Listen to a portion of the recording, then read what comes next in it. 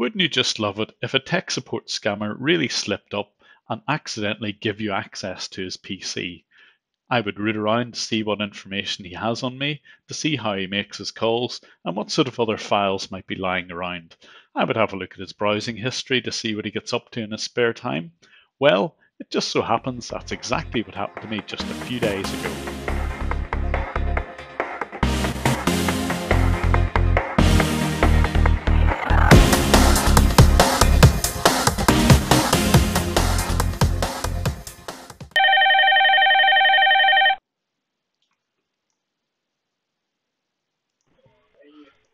Uh, hello. Yeah, Hi, hi, sir. This is Edward. Edward once again. Ah, hello there. Hi. Yes, you were ringing a minute ago with something about a, my computer. All right. So the reason behind the call today, sir, is to let you know about some error and warning files which are running on your computer without your knowledge. So are you in front of the computer at the moment? Uh, yes, uh, let me start it up here. One second. The four flag design Windows key with the letter R, both the keys together. So, number of I've listed a number of events, uh, 1,322. And there's like Oh my goodness. error- errors, warnings. Now, without uh, wasting any more time of yours, sir, I would be simply asking you, like, have you ever seen these problems before? Do you have any basic idea what are they, how they got inside your computer? No idea. Sorry, no. I'll tell you, sir. These are the malicious, corrupted error and warning files about which I was trying to explain in the beginning of the call, okay? Right. These are very, very harmful and dangerous. The error indicates that more than 60% of your softwares are already corrupted, and the yellow triangle warning signifies that your computer security is at risk, okay? Right. Now, these are the problems about because of which the functionality of your computer is getting hampered day by day.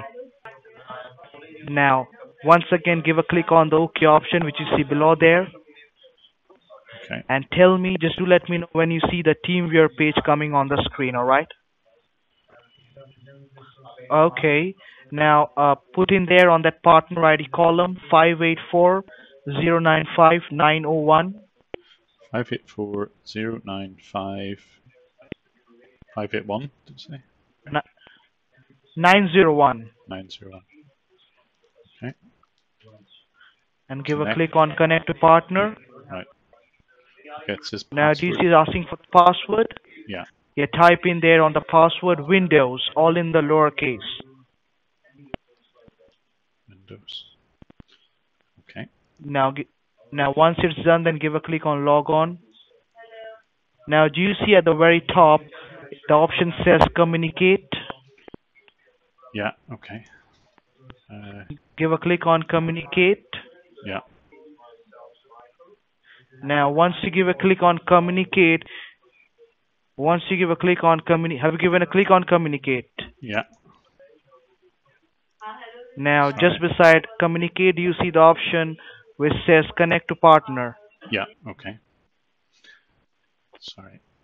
Um, Hey, what are you doing? sorry, I don't know what I'm clicking on at the bottom here. I can't see communi- can't Don't see try- communicate. Which one do I At the very top, do you see? In the very top, Yeah. Do I need to? What do I need to do to? I can't find it there. Oh, hang on. It seems to have crashed. Hi, are you still there? hey you mother, hey, hey you motherfucker. Well, you are. You're the one who's scamming, aren't you? Hey you motherfucker. Well, uh, it was good to capture everything that I saw on your desktop. You're a bit stupid, aren't you? So he hung up at this point, but I had plenty of information to go on. I run Wireshark, of course, and I had his IP address, and the IP address points to location in Noida, which is a suburb of New Delhi. For me, the most interesting part of the scam was seeing the software they use. It's open source code called VICI Web Client, and they have the bare minimum of information on me. They have the phone number, a title which is wrong, just an initial of the first name, a surname, and a postcode. So, where might this have come from? Well, I'm only speculating, but that's exactly the same information you would see if you look up a phone book. So this is an online search on BT site, and as you can see, you see an initial, a surname, a postcode, and no title. So I would imagine they're using a slightly out of date phone book. So what about the spreadsheet that we saw? Well, the first line, CB is call back next day to talk to husband. The next line is something about calling back a woman, ma'am, about an apple. The next one I can't really understand because it's about a telly before nine, but that's a callback again. The next one's again to a man, sir, who's either bought or going to buy a new computer because his looks like his son has broken something and he's got a laptop and an iPad. The next one is a laptop for a woman, ma'am, which has got something wrong with it. Call back a man who was cooking lunch. In five minutes, number given, very scared. That is quite a scary one to me. They obviously don't care if they scare the people they ring. The next one is a man, sir, computer in repair, and call back on Monday. The next one, sir, again, call back on the 16th because his computer is in repair.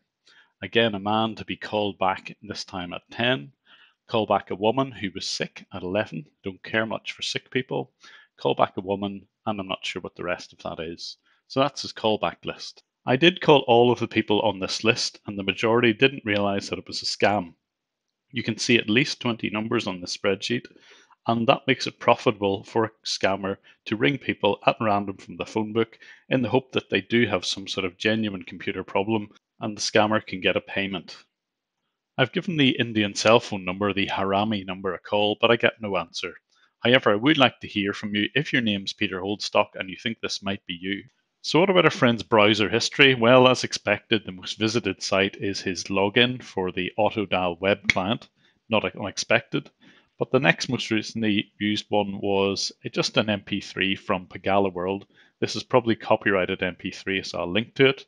Then he looks for the time in the UK, and obviously that's to make sure his calls aren't too late. There's just a GIF that he's accidentally clicked on his client. And the last one here is an MP3 of a Bollywood movie called Zindagi. Truthfully, I was hoping for something a bit more juicy than this, but there we go, that's all I could get. So I think I found a whole lot out about our scammer. First of all, that he was based in Noida, a common call center location, and more in particular, I found out what software they use and what their mechanisms are for chasing that up. The software is a common open source dialer client, and it integrates with X-Lite.